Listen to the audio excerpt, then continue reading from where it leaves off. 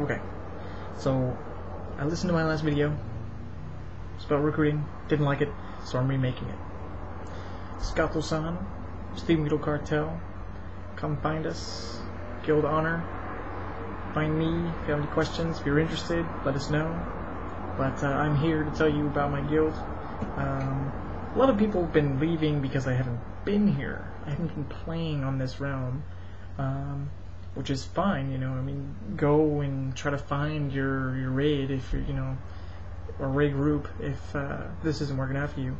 But um, I'm recruiting again because I'm serious about making the effort to get somewhere. Um, I've got a tank that I tank with, um, Scotland little gnome warrior, engineer. Um, also have a healer, Rustix, Resto Druid. But uh, I will be tanking for the progression raid. I will have one of my friends heal probably on her Druid or her Shaman.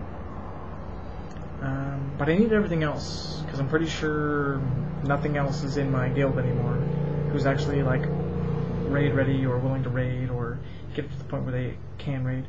So, um, I need another tank. Preferably probably a Frost DK, just for the melee increase and the fact that they hold ridiculous amounts of aggro. Um, uh, let's see, what else? Obviously going to need some DPS. I would like an ideal, well-rounded raid, you know, one of each class kind of thing. So, and then like the third healer would have like an off-spec DPS. Um, which could be like a paladin for you know an additional melee DPS, and so we need a third healer, or maybe um, a priest. But uh, I would like one, if I can get it, I would like one of each class for a solid 10 man.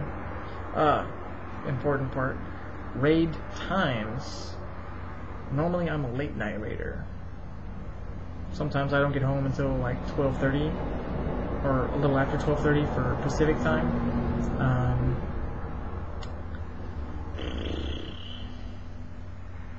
so, and we're on Steamwheedle, which is three hours ahead of us, so that's East Coast time. So we normally raid the very latest around 3 3:30. Um, if this is something that you guys are interested in, swoop on by. I can almost guarantee you that you won't find the kind of talent as with as me as a tank, a warrior tank, um, anywhere else.